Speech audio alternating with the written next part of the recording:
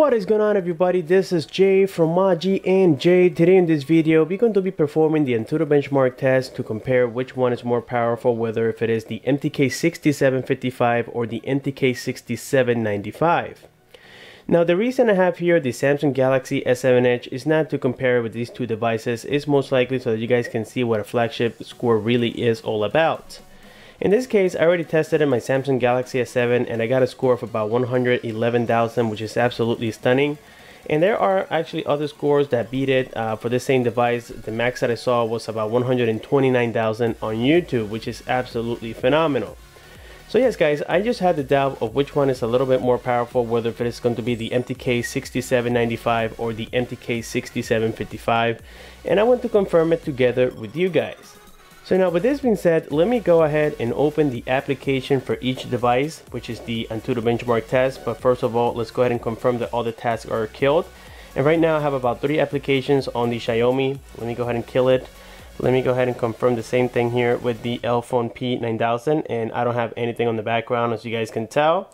And then I will still test my Samsung Galaxy S7 here. This is the Edge model that I just got from T-Mobile. Let me go ahead and do exactly the same thing. Let me kill all my tasks. And there we go, guys. Everything has been killed on every single device. All of them have about the same battery and also all of them are connected to the Wi-Fi as you guys can tell. So let me go ahead and start here by opening the application on the Galaxy S7. Uh, second, we're going to open it on the Elephone P9000 and that's the score that I was talking about guys, which is absolutely great. Let me go ahead and select here allow uh, this is the P9000. I got a previous score of 45,000. You guys know that by now. And then finally, let's go here into the Antutu benchmark on the Xiaomi Redmi Note 3, which is also a very outstanding device. Now here, this is the score that I already got based on the testing that I completed before this video, but I want to retest it so that way you guys can see it for yourself. Now let me go ahead and select cancel for now. And one, two, three. Here we go.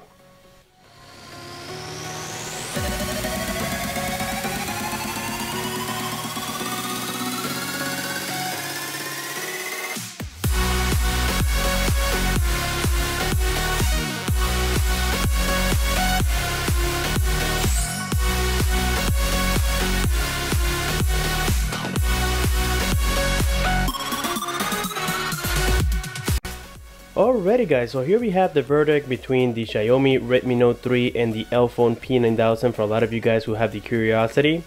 Keep in mind that this one comes with 3GB of RAM, the Elephone comes with 4GB of RAM, and also the GPU on both of them are going to be different. On the Elephone we have the Mali A60 and on the Xiaomi Redmi Note 3 we have the PowerVR G6200. Now a lot of you guys prefer this GPU because it's a lot better with gaming and also saves a lot of battery. But now on the other hand, the A60 on the Elephone P9000 is a little bit underpowered. I'm pretty sure guys that if this thing had maybe the PowerVR G6200 like the Xiaomi Redmi Note 3, the Elephone would have beat it in every single way. But now then, on the other hand, we know of course that the Samsung Galaxy S7 beats everything out of the way guys. As a matter of fact, when I checked here the rankings, uh, this is the top phone as we can see here on the scoring and the next one after it is the Huawei Mate 8. It's a pretty new phone that got released about two months ago and this thing guys just blew everything out of the way. I am truly impressed here with the Samsung Galaxy S7. Now the reason I performed the test is so that you can use it as a reference on what a score really is on a high-end device versus the mid-range devices.